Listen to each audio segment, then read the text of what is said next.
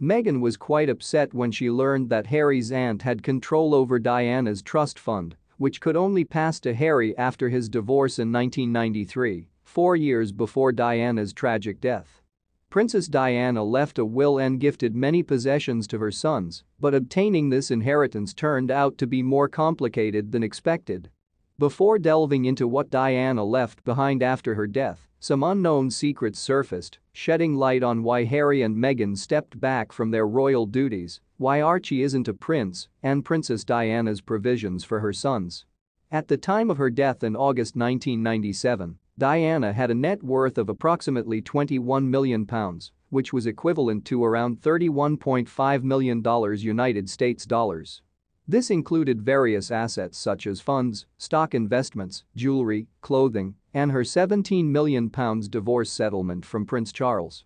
Diana's will established a discretionary fund for her two sons and their future families, which initially held £100,000 along with accrued interest and income from the fund's assets. She specified that after distributing her possessions and allocating the discretionary fund, the remainder of her estate would go to her sons, provided it remained in a trust until they turned 25. Given their young age at her passing, the estate was indeed placed in a trust, with her mother and sister serving as trustees, as outlined in a codicil Diana added to her will in February 1996. Shortly after Diana's death, her mother and sister sought and enacted a variation to this arrangement, postponing the date at which Harry and William would inherit their share of the estate. Consequently, Harry's share from Diana's will is now under the control of his Aunt Jane Fellowes, who has the authority to decide when he should receive it, with rumors suggesting he might get it after divorcing Meghan. Meghan seems to be aware of this, and some believe she hasn't parted ways with Harry because she's waiting to secure her part of his inheritance from his mother. During Meghan's time in the royal family, Harry received roughly $5 million from his father, and he also had income from Diana's bequest.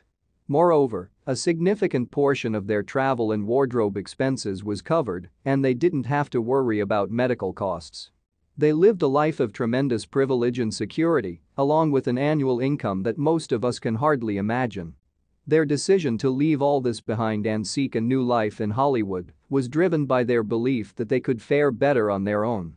Amidst rumors of a Sussex divorce, Meghan Markle has faced criticism for underestimating the scrutiny that comes with being a part of the royal family. Relationship expert Kate Mansfield noted that Meghan's desire for privacy and doing things her own way might seem delusional to outsiders. While some might sympathize with her privacy concerns, the fact remains that she married into immense privilege. Additionally, if she thinks she can manipulate or blackmail the royal family, she is likely to be disappointed, as such actions are unlikely to succeed.